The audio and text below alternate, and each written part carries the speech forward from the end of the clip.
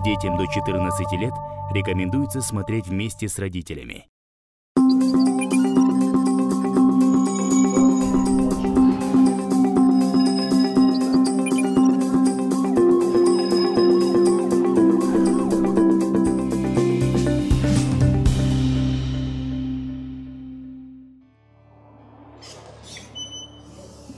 Речевой аппарат.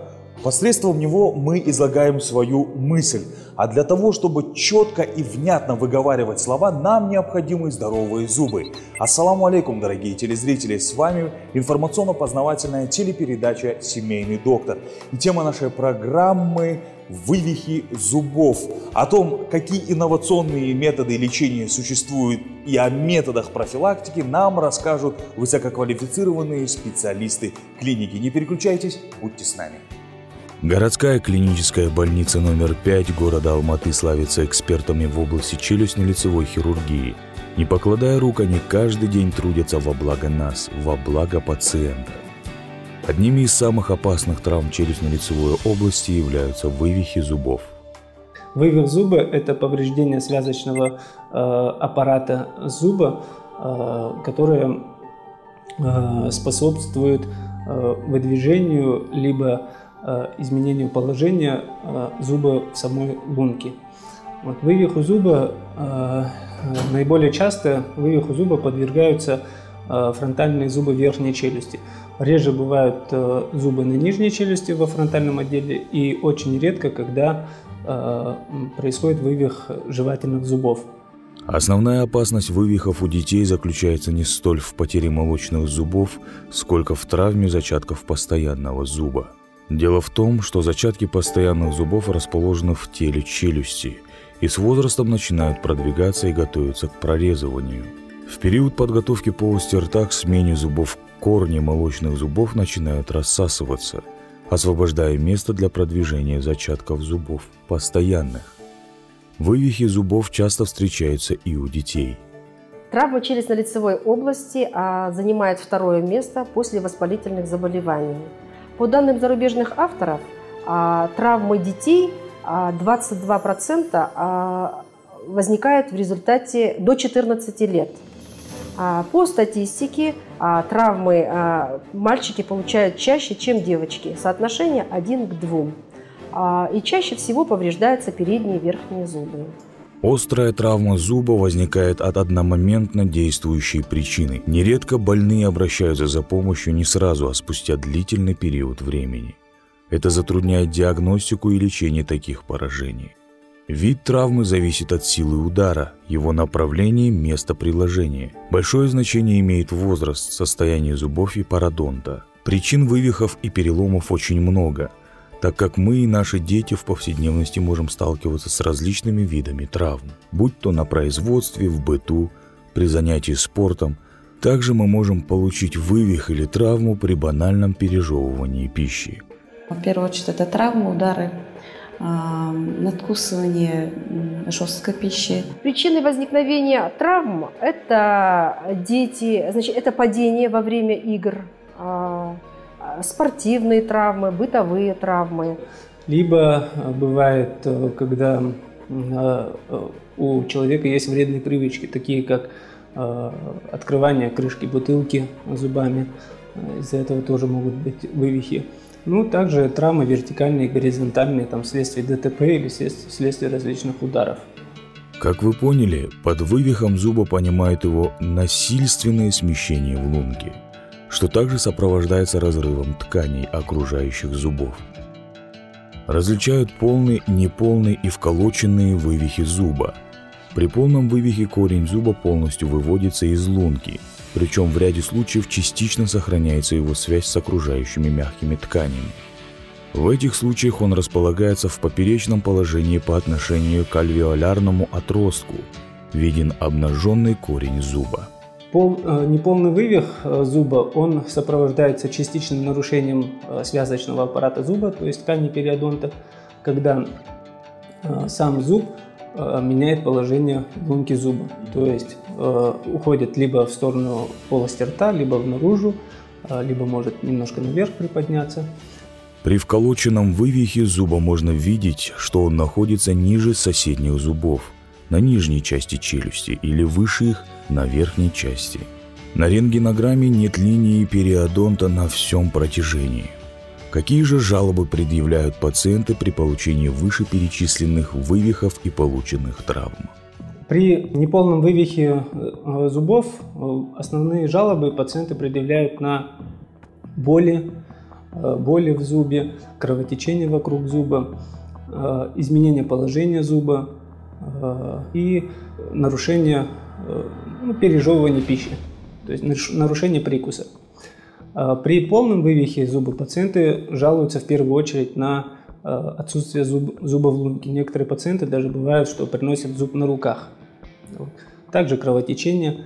При визуальном осмотре э, в полости рта видно, что э, лунка кровит, э, зуба в лунке нету, и идет какое-то частичное нарушение целостности костной ткани, то есть либо наружной, либо внутренней кортикальной пластинки вследствие травмы.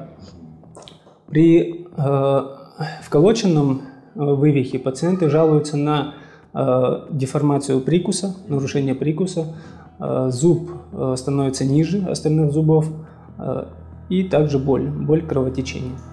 А, если это травма дорожно-транспортного характера, то в таком случае бывают множественные ссадины на лице, разрывы мягких тканей, а, переломы коронок зубов и вывихнутые зубы. То есть в полости рта мы видим, а, если пациент непосредственно сразу обратился, а, в полости рта имеется кровоточащая лунка. Если давность травмы сутки, то в полости рта мы видим сформировавшийся уже кровяной сгусток. И мож, могут быть подвижные рядом стоящие зубы. То есть это не говорит о том, что если произошел вывих данного зуба, то, естественно, очень часто встречается, что повреждаются рядом стоящие зубы. У нас есть одна большая, зачастую вредная привычка – это занятие самолечением. Чем же оно может усугубиться и обернуться? И что может произойти, если вовремя не обратиться к квалифицированным специалистам? Самолечением заниматься ни в коем случае нельзя, потому что э, можно наоборот усугубить состояние. То есть э, может развиться э, инфекция, это нужно все обработать, мягкие ткани вокруг нужно все обработать, потому что полость рта, она ну, как бы в ней очень много разной флоры, и она может заразиться. Вот, поэтому нужно тщательно медикаментозно обработать. Если это полный вывих, тщательно обрабатывается зуб медикаментозно, а потом ставится на место и назначается соответствующее лечение. Ну, осложнение, если своевременное необращение, ну, во-первых, это первое, конечно, э, это дефект зубного ряда, будет отсутствовать постоянный зуб. Это первое. Второе, конечно, присоединяет, может присоединиться вторичная инфекция. То есть это может быть астемиелиты, альвеолиты челюстей. Поэтому, конечно, а, ну, как рекомендация, естественно, э, ну, сегодня в современном мире, конечно, пациенты, как правило, обращаются э, в большинстве случаев сразу или через а, сутки. К счастью, вывих зуба редко остается незамеченным со стороны пациента – из-за ярко выраженного болевого синдрома и невозможности приема пищи он самостоятельно обращается за помощью к стоматологу. И чаще предлагает удаление зуба, хотя последующая имплантация зуба более болезненная, длительная и дорогостоящая процедура. Для оценки состояния челюсти, соседних зубов и иннервации в области поврежденного зуба проводят рентгенологические исследования – вот мы и подступили к одному из главных вопросов. Существуют классические и инновационные методы лечения. Вывихи зуба. А, во-первых, нужно решить вопрос об а, сохранении зуба, сохранении органа, в данном случае зуба. А, на это влияет, во-первых, целостность зуба, чтобы коронковая часть, корневая часть была целая, и насколько повреждены окружающие ткани зуба то есть э, периодонт, также костная ткань и, естественно, слизистая десна. Вторым вопросом является сохранение жизнеспособности зуба. То есть э, нужно удалять нерв зуба, то есть депульпировать, либо нужно оставлять нерв. Э, при, когда оставляем зуб живым, то есть не депульпируем, при этом нужно провести электроодонтометрию данного зуба, то есть проверить зуб на чувствительность к электричеству, к току. Через него проводят э, минимальное напряжение 2-3 микроампер. Если зуб э, чувствителен, если он чувствует этот электрический ток, значит э, зуб живой и сосудистый нервный пучок не поврежден. Если же зуб не чувствует это напряжение и сила тока возрастает до 100 микроампер, уже идет чувствительность не самого зуба, а окружающих тканей. Это значит зуб мертв. С него нужно удалять нерв. При полном вывихе, если пациент э, принес его на руках, там в пакетике этот зуб, если время травмы прошло не более одного часа, 30 минут или час, данный зуб можно вставить э, в лунку. В лунку зафиксировать, он э, приживется. Э, эта методика, эта операция называется реплантация. Реплантация зуба, то есть установление повторно его в лунку. При этом очищается полностью, дезинфицируется зуб, подготавливается ложа, опять же смотрится, чтобы не было нарушения костных стенок, устанавливается зуб и э, шинируется, устанавливается шина на месяц-полтора. Э, шинирование производится во всех э, случаях вывиха, э, независимо от их видов. При, также при неполном вывихе, при полном вывихе и в колочном вывихе. А, на сегодняшний день я применяю методику с применением самотвердеющей пластмассы, а, называется э, материал Супербонд, производство Япония. А, эта методика чем хороша? Она мало травматична, эстетична и а, экономически мало затратна. При применении гладкой шины скобы она не эстетична, очень травматична. То есть после ее наложения пациенты чувствуют дискомфорт и болезненность в течение 3-4 дней. И там образуются ретенционные пункты задержки пищи. Нужно постоянно а, полоскать рот. На мой взгляд, а, применение самотвердеющей пластмассы и супербонда ну, целесообразнее ввиду ее положительных а, свойств. После назначенной и проведенной тактики лечения пациентам необходимо пройти реабилитацию – и придерживаться профилактических мероприятий и советов врачей. После операционном периоде мы назначаем а, больным это обезболивающие и антибактериальные препараты. Через 4 э, недели а, снимаем фиксирующие устройства. Если это гладкая шиноскоба, то а, бронзоалюминиевой проволокой. Даем рекомендации до и после фиксирующих устройств. Рекомендации – это значит, обязательно гигиена полости рта. Нужно использовать зубную щетку с мягкими щетинками, желательно после каждого приема пищи. А, щадящая диета, мягкая пища в течение где-то двух недель. И использовать растворы хлоргексидина 0,1% в день два, два раза полоскать в течение недели. А, быть всегда бдительным, а, смотреть за своими детками и не получать травмы.